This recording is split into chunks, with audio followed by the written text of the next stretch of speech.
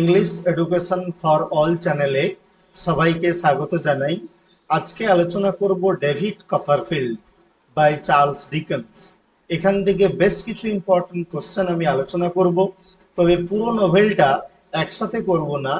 প্রথম চ্যাপ্টার থেকে tenth chapter পর্যন্ত, অর্থাৎ ডেভিডের জন্ম থেকে তার মায়ের মৃত্যু পর্যন্ত, বা বলা যেতে পারে তার জন্ম থেকে ঠিক সেই সময় পর্যন্ত যেখানে তার বাবা মার্স্টন, মিস্টার মার্স্টন পাঠিয়ে দেবেন তাকে বাইরে কাজ করার জন্য ওয়ার হাউসে তো আমরা এইটুকুর মধ্যে এই দশটা চ্যাপ্টার থেকে বেশ কিছু ইম্পর্টেন্ট কোশ্চেন আলোচনা করব আজ।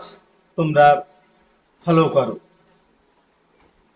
দেখো, একেবারে প্রথমেই রয়েছে David Copperfield is told from the dash person point of view David কোপারফিল্ডে গল্পটা বলা হয়েছে কি না first person point of view থেকে? পুরো গল্পটাই ফার্স্ট পার্সনে বলা হয়েছে through the mouth of David তাহলে থ্রু ডেভিড ডেভিডের মধ্য দিয়ে বা ডেভিডের মাধ্যমে পুরো গল্পটা বলা হয়েছে। এই জন্য এটা হচ্ছে ফার্স্ট পার্সন নারেশন মনে রাখবে নেক্সট দেখো the novel was first published with the title নোভেলটা কি টাইটেলে প্রথম প্রকাশিত হয়? দেখো, অনেক বড় টাইটেল ছিল। The personal history adventure experience and observation of David Copperfield the younger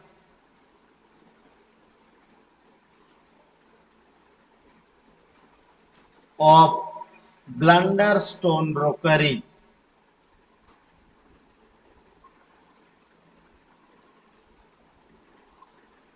তাহলে এত বড় টাইটেলটা ছিল প্রথমে। তাহলে মনে রাখো the personal history adventure experience and observation of David Copperfield the younger of Blunderstone Rookery মনে রাখো এই ব্লান্ডারস্টোনে আসলে ডেভিডের বাড়িটা ছিল, যে কারণে এই ব্লান্ডারস্টোন বলা হচ্ছে। আর পুরো নোভেলটা জুড়ে আমরা দেখতে পাবো, এর পার্সোনাল হিস্ট্রি রয়েছে ডেভিডের অ্যাডভেঞ্চার রয়েছে, নতুন কিছু অভিজ্ঞতা অর্জন, সেই সাথে অবজারভেশন এইটা ছিল পুরো একটা টাইটেল পরে সেটাকে ছোট করা হয় ডেভিড কপারফিল্ড নামে। নেক্সট দেখো David Copperfield was his dash novel ডিকেন্সের কততম নোভেল ছিল এই ডেভিড কপারফিল্ড তোমরা জেনে রাখো, এটা ছিল তার এইট নোভেল তার অষ্টম নোভেল ছিল ডেভিড কপারফিল্ড। এর আগেও তিনি নোভেল লিখেছেন এবং এটা অষ্টম। Which technique did Dickens introduce here in the novel David Copperfield for the first time এর আগে সাতটা নোভেল তিনি লিখেছেন, কিন্তু এই নোভেলে তিনি প্রথমবার ব্যবহার করছেন কোন টেকনিকটা সেটা হলো ওই যে আগেই আলোচনা করেছি আমরা ফার্স্ট পারসন ন্যারেটর এইটা ব্যবহার করছেন তিনি। এবং এইটা সাজেস্ট করেছিলেন ফরস্টার তার বন্ধু, ডিকেন্সের বন্ধু। এই ফরস্টার একজন গুরুত্বপূর্ণ চরিত্র চরিত্র মানে তার জীবনে ডিকেন্সেস ফ্রেন্ড তার বিশেষ করে অটোবায়োগ্রাফি লেখার ক্ষেত্রে বা অন্যান্য কিছু সাজেশন দেওয়ার ক্ষেত্রে Forster played an important role in the life of Dickens and this Forster suggested Dickens to use the first person narration in David Copperfield so it was a new technique used for the first time in David Copperfield মনে রাখবে? Next দেখো the genre of the novel David Copperfield David Copperfield এমনিতে এটা fiction কিন্তু আরও অন্য option থাকবে fiction বাদ দিয়ে ফিকশন হয়তো দেবে না। বিল্ডুংস রোমান বিল্ডুংস রোমান হচ্ছে, এটা একটা জার্মান শব্দ। এই বিল্ডিংস রোমান বিল্ডিংস রোমান এটা হলো একটা নোভেল লেখার লেখার রীতি। যে রীতিতে প্রোটাগনিস্টটা সে তার জীবন দিয়ে শেখে, সে বড় হয় বিভিন্ন অভিজ্ঞতা অর্জন করতে করতে এবং ফাইনালি ম্যাচিওর হয় সমাজের বিভিন্ন তিক্ত অভিজ্ঞতা অর্জন করে। আমরা ডেভিডকেও দেখব শুরু থেকে তার বাবার মৃত্যু হয়েছে অনেক আগেই তার জন্মের এবং তারপরে যখন তার নতুন বাবা আসবে, সেই নতুন বাবা তাকে অত্যাচার করবে। একটা সময় সেই অত্যাচার যাতে তাকে না করে এবং মা যাতে তার অ্যাংজাইটিতে না ভুগে, কারণ ছেলেকে যদি শাসন করে বা অত্যাচার করে, মায়ের কষ্ট হয়। যাতে না মা অ্যাংজাইটিতে ভোগে, যে কারণে আমরা দেখব ডেভিডকে সবসময় লুকিয়ে থাকতে, লুকিয়ে বেড়াতে মা, মার্স্টনের থেকে। এই জন্য ডেভিড কপারফিল্ডকে বলা যেতে পারে বিল্ডিংস রোমান। অর্থাৎ এমন একটা নোভেল লেখার লেখার রীতি যেখানে protagonist the central character experiences through his life experience তার প্রতিদিনকার জীবনের অভিজ্ঞতা থেকে সে শেখে অ্যান্ড দেয়ার বাই হি ম্যাচিওরস এইভাবেই সে ম্যাচিওরিটি লাভ করে। আর সেদিক থেকে ডেভিড কপারফিল্ডকে বিল্ডিংস রোমান বলা যেতে পারে। মনে রাখবে টার্মটা বিল্ডিংস রোমান এটা একটা জার্মান টার্ম। নেক্সট দেখো, David Copperfield was born at কটার সময় জন্মগ্রহণ করেছিল? মনে রাখো, বারোটায়। অ্যাট নাইট, রাতের বেলায় জন্মগ্রহণ করেছিল ডেভিড কপারফিল্ড। অন ফ্রাইডে, শুক্রবার জন্মগ্রহণ করেছিলেন। ইন দ্য মান্থ অফ কবে? মার্চে জন্মগ্রহণ করেছিলেন এক, যেই জায়গাটা, সেই জায়গাটার নাম হলো রোকারি। রোকারিটা কোথায়? ব্লান্ডার স্টোনে। তাহলে এই এতগুলো তথ্য তোমাকে মনে রাখতে হবে। David's father died dash before his birth.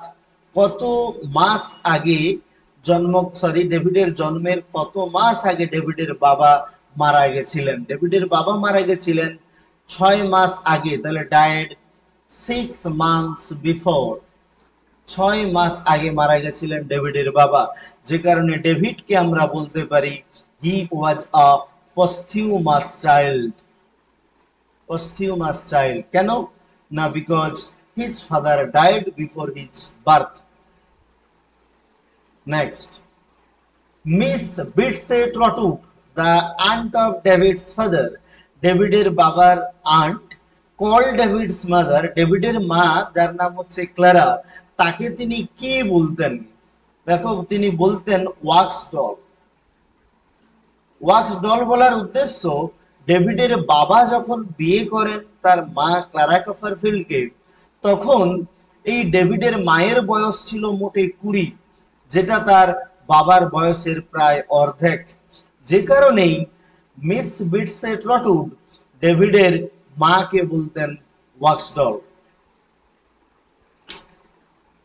Next দেখো, Miss Betsey thought Clara Copperfield would give birth to. Miss Betsey Trotwood তিনি ভাবতেন যে ক্লারা কপারফিল্ড জন্ম দেবেন, কি জন্ম দেবেন? গার্ল চাইল্ড, অপশানে থাকতে পারে গার্ল চাইল্ড, বয় চাইল্ড বা boy baby.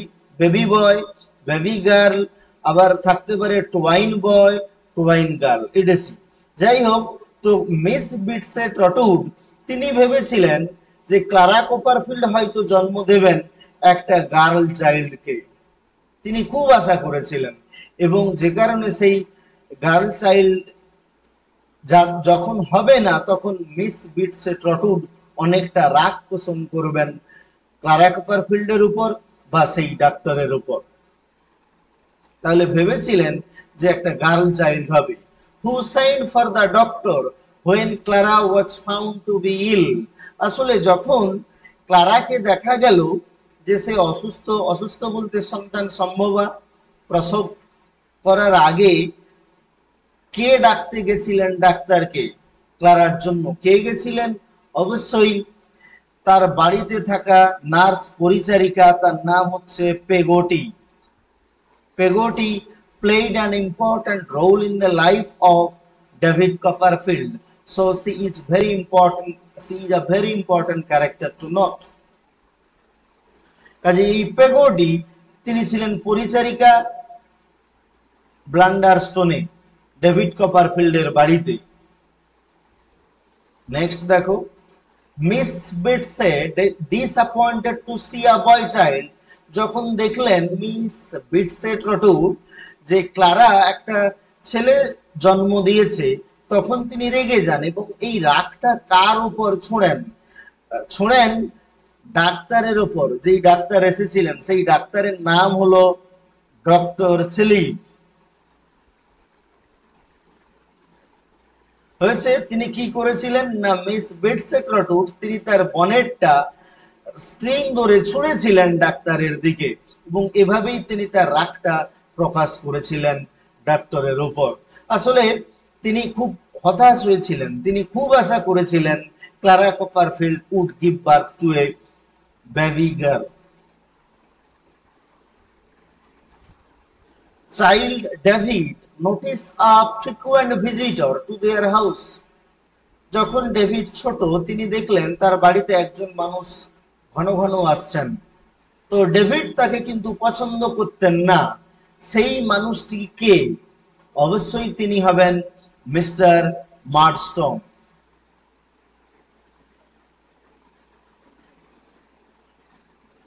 মনে রাখবে মিস্টার মার্ডস্টম আবার এর বোনও পরে এসে ওই বাড়িতে থাকবে, তিনি মিস মার্ডস্টম এই প্রসঙ্গে বলে রাখি, ডেভিড কপারফিল্ডের সিনোপসিসটা দেওয়া রয়েছে ইউটিউবে, তোমরা দেখে নেবে। কারণ গল্পটা না জানলে এমসিকিউ গুলো বা বিভিন্ন তথ্যগুলো মনে রাখা অসুবিধে। যে কারণে তোমরা আগে অবশ্যই সিনোপসিসটা বা সামারিটা দেখবে ডেভিড কপারফিল্ডের সুন্দর করে দেওয়া রয়েছে। Next David hear two comments on his mother from Mr Quinion and Mr Passnidge এই দুইজন তার মায়ের সম্পর্কে কমেন্ট করেছিলেন এবং ডেভিড সেটা শুনেছিলেন।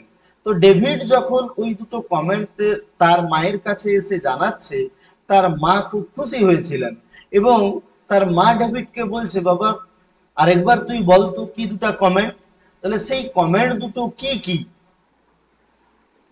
কি? বি উইচিং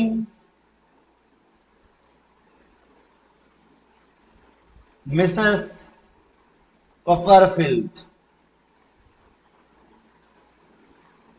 এইটা একটা কমেন্ট আরেকটা কমেন্ট ছিল প্রিটি লিটল উইডো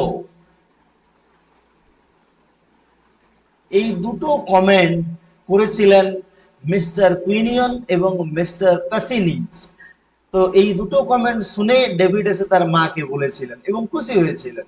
প্রশ্ন আসতে পারে, কোন দুটি কমেন্ট যা অন্যরা বলেছিল সেটা ডেভিডের কাছ থেকে শুনে তার মা খুব খুশি হয়েছিলেন? তাহলে এই দুটো বলতে হবে। বি উইচিং মিসেস কপারফিল্ড আর একটা হচ্ছে pretty little widow next when David went to Peggotty's house আমরা দেখতে পাবো যখন মাঝে একবার ডেভিড পেগোটির সাথে সেই পেগোটির বাড়ি যাবে। তার বাড়ি হচ্ছে ইয়ারমাউথ পেগোটির বাড়ি হচ্ছে ইয়ারমাউথ সেই পেগোটির বাড়িতে কে কে রয়েছে? তার দাদা রয়েছে ড্যান পেগোটি এবং তাদের দুজন সন্তান ড্যান পেগোটির দুজন সন্তান, একজনের নাম হ্যাম, আরেকজন হচ্ছে এমিলি। প্রশ্ন হচ্ছে যে যখন ইয়ারমাউথে গেলেন ডেভিড পেগোটির সাথে, কে তার পিঠে করে নিয়ে গেছিল পাবলিক হাউস থেকে? কাটে করে গিয়েছিলেন সেই কাটের একটা জায়গায় যাওয়ার পর পাবলিক হাউস থেকে তার বাড়িতে, পেগোটির বাড়িতে গিয়েছিলেন কার পিঠে চড়ে? অবশ্যই এই হ্যামের পিঠে চড়ে। মনে রাখবে, হ্যাম তাকে নিয়ে গেছিল পিঠে চাপিয়ে। Next Peggotty's house was made out of. পেগোটির বাড়িটা তৈরি ছিল কিসের? কিসের তৈরি ছিল? মনে রাখো পেগোটির বাড়িটা তৈরি ছিল made out of a real boat. বোটের তৈরি ছিল। অর্থাৎ নৌকাটাকেই ঘর বানানো হয়েছিল। Dan Peggotty was a bachelor. আমি একটু আগে বললাম, Dan Peggotty the brother, elder brother of Peggotty. তো he was a bachelor. Who were Ham and Emily. তোমাদের প্রশ্ন হবে, স্যার, আপনি একটু আগেই বললেন হ্যাম এবং এমিলি। এরা হচ্ছে ডান পেগোটির সন্তান সন্ততি। আবার এরা তাহলে কারা? সে যদি ব্যাচেলর থাকে, খুব স্বাভাবিক প্রশ্ন। আসলে হ্যাম এবং Emily both of them were orphan তারা দুজনেই ছিল orphan so Dan Peggotty adopted them Dan Peggotty তাদেরকে অ্যাডাপ্ট করে। মনে রাখো এই তথ্যগুলো। After David's return from Peggotty's house David যখন পেগোটির বাড়ি থেকে ফিরলেন, সেই বাড়ি হচ্ছে ইয়ারমাউথে পেগোটির বাড়ি, ওখান থেকে ফিরছেন ব্লান্ডার স্টোনে তখন দরজাটা তার হয়ে কে খুলেছিল? খুব গুরুত্বপূর্ণ প্রশ্ন। কে খুলেছিল? অবশ্যই তার নতুন বাবা হিজ নিউ ফাদার আর এই নতুন বাবা কে হবে? এটা নিশ্চয়ই তোমরা আন্দাজ করতে পারছ, মিস্টার মার্স্টন। তোমরা অনুভব করতে পারছ, মিস্টার মার্স্টনের প্রতি তার ডিসলাইকিং ছিলই ডেভিডের। কিন্তু তিনিই আবার ডেভিডের বাবা হয়েছেন। খুব স্বাভাবিকভাবে ডেভিডের জীবন ক্রমশ বিপদ সংকুল হতে চলেছে এবং এইটাই হচ্ছে Bildungsroman. David develops to maturity by experiencing from his life এই জন্যই ডেভিড কপারফিল্ডকে বলা যেতে পারে বিল্ডিং শ্রমণ। নেক্সট দেখো why was David locked up in a room for five days ডেভিডকে কেন একটা রুমে প্রায় পাঁচ দিন বন্ধ করে রাখা হয়েছিল? খুব গুরুত্বপূর্ণ প্রশ্ন। আসলে যখন মিস্টার মার্স্টোন থাকতে শুরু করলেন ব্লান্ডার স্টোনে তখন পড়াশোনার দায়িত্ব, ডেভিডের পড়াশোনার দায়িত্ব বাড়িতে থাকল ওই মার্স্টোনের উপর। এই মার্স্টোন তাকে পড়ানোর নামে বা বলতে পারো পড়ানোর সময় তার উপর অত্যাচার করত। তো একবার তাকে এই মার্স্টোন তাকে খুব পেটেছে ডেভিডকে এবং এরপর রাগে David bit him in his hand তার হাতে কামড়ে দিয়েছে এবং এই রাগে ডেভিড কপারফিল্ডকে মিস্টার মার্স্টোন একটা রুমে পাঁচ দিন তালা বন্ধ করে রেখেছে। ভাবতে পারছ তাহলে কি কষ্টটাই ডেভিডকে সইতে হয়েছিল? Next when locked up in a room. যখন সেই রুমে লকড আপ ছিল ডেভিড, তো তখন কে, when did David come to know? কখন ডেভিড জানতে পারল that he would be sent away to school তাকে বাড়ি থেকে পাঠিয়ে দেওয়া হবে। দূরের একটা স্কুলে কখন জানতে চাইলো, জানতে পেরেছিল? ফিফথ ডেতে পঞ্চমতম দিনে। কে জানিয়েছিল? অবশ্যই জানিয়েছিল পেগোটি। কীভাবে জানিয়েছিল? না, যে কি হোল রয়েছে, সেই কি হোলের মধ্য দিয়ে পেগোটি জানাচ্ছে ডেভিডকে যে তোমাকে আর বাড়িতে রাখা হবে না, তোমাকে এবার পাঠিয়ে দেওয়া হবে। দূরের একটা স্কুলে। মনে রাখো এই তথ্যগুলো? What did Peggotty give David when he was being sent to school? যখন ডেভিডকে স্কুলে পাঠিয়ে দেওয়া হচ্ছিল, তখন পেগোটি তাকে কি দিয়েছিল? খুব গুরুত্বপূর্ণ প্রশ্ন। দেখো, কি কি দিয়েছিল? দিয়েছিল একটা paper bag. A paper bag full of cakes তাহলে কেকে ভর্তি একটা পেপার ব্যাগ আর কি দিয়েছিল? একটা purse.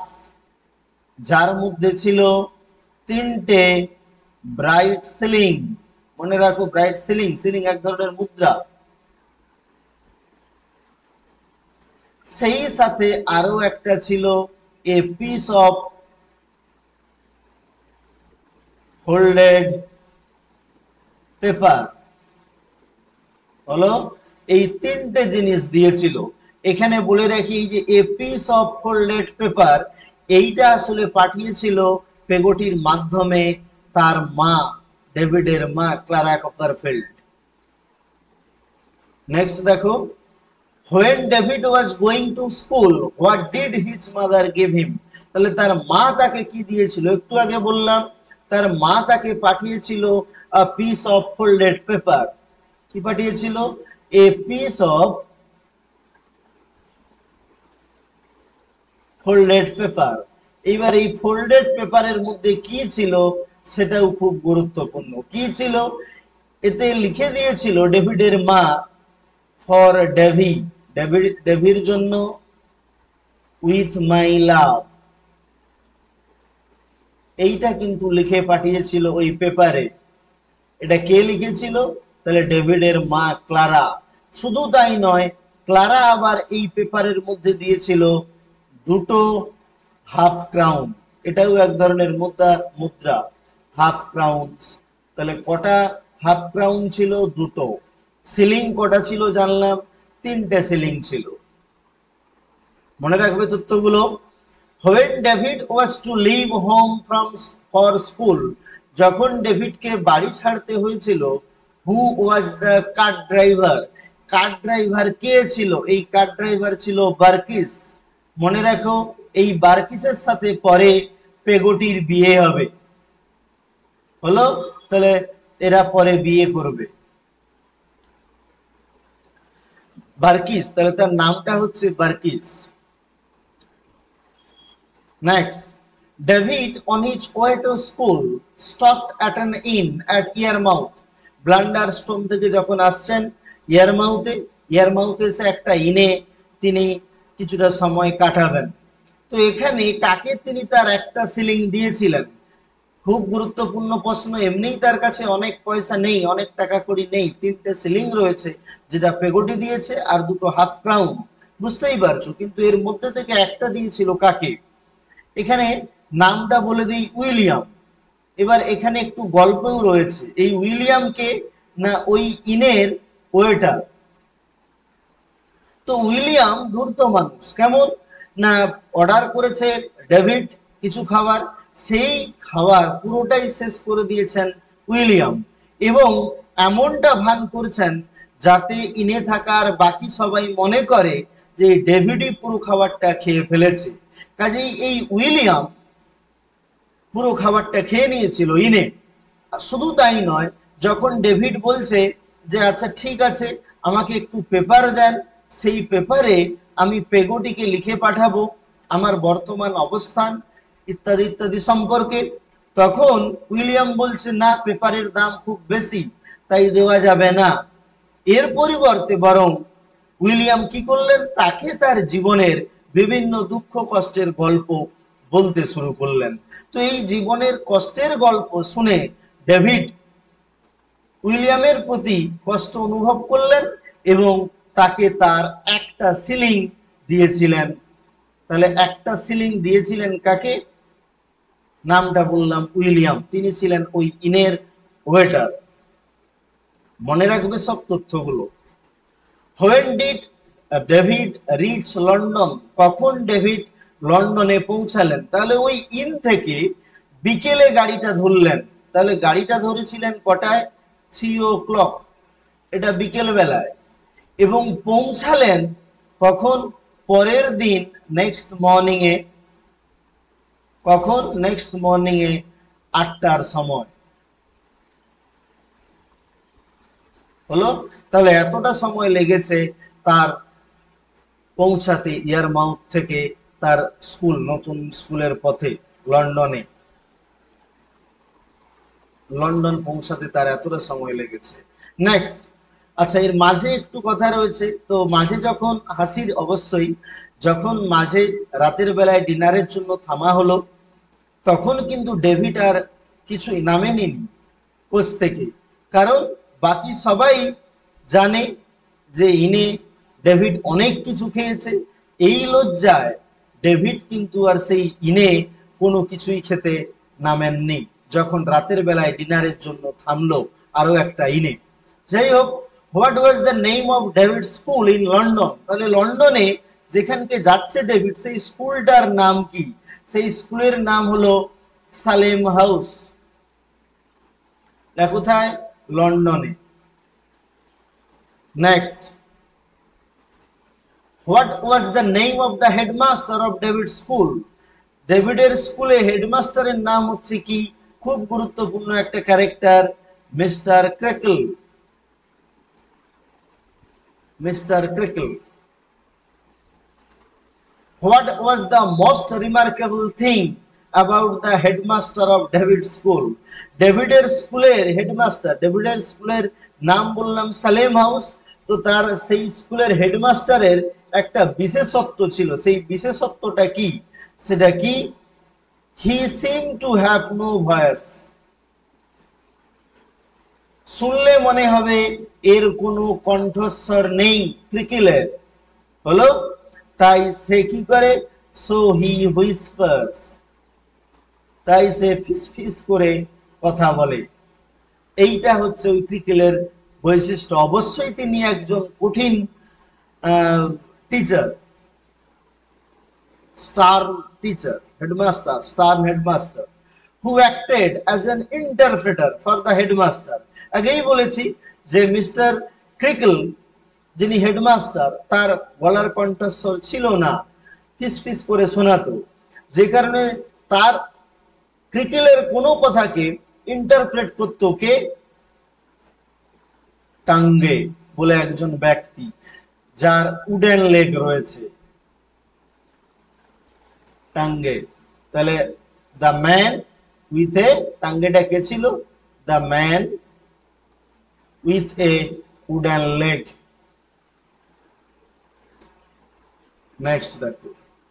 Among the students at the school who was a great scholar, যখন সালেম হাউসে পৌঁছালেন, তখন বিভিন্ন ছাত্রছাত্রীদের মধ্যে কে একজন বিশেষ স্কলার ছিল and was said to have a great এবং তার বিশাল প্রভাব রয়েছে মিস্টার ক্রেকলের উপর। সেই স্টুডেন্টের নাম কি? সেই স্টুডেন্টের নাম James স্টিয়ারফোর্থ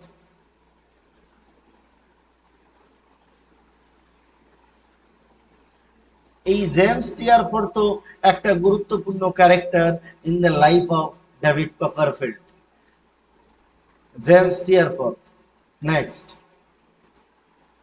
What was a memorable incident of the first half term at Salem House?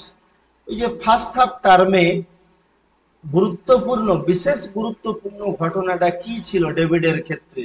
খুব গুরুত্বপূর্ণ ঘটনা, সেটা হলো ফার্স্ট টার্মে তার বাড়ি যাওয়ার আগে। কি?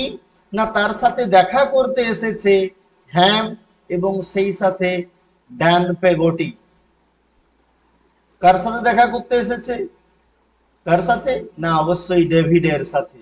এইটাই একটা one of the memorable incident in the life of David